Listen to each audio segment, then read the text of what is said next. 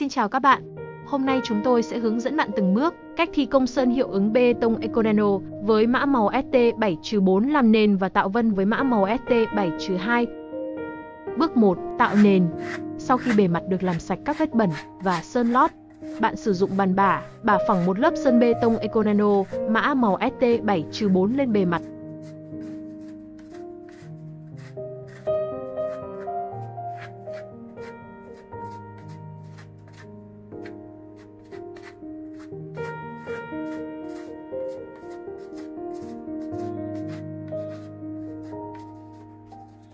Bước 2. Tạo hiệu ứng. Sau khi bề mặt lớp một khô, bạn sử dụng chổi quét sơn, lấy một lượng sơn hiệu ứng bê tông Econano, mã màu ST7-2, quét đều lên bề mặt.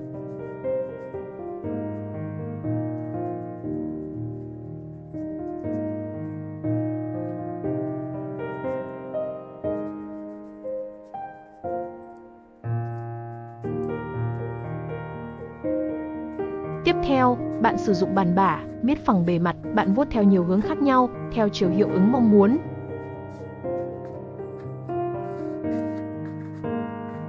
Sau khi bạn đã thỏa mãn với hiệu ứng bạn tạo ra, hãy sơn một lớp phủ clear bóng hay clear không bóng của Econano. Điều này sẽ bảo vệ cũng như tăng tính bền và chống thấm cho bề mặt. Cảm ơn bạn đã xem và chúc bạn thành công trong dự án của mình.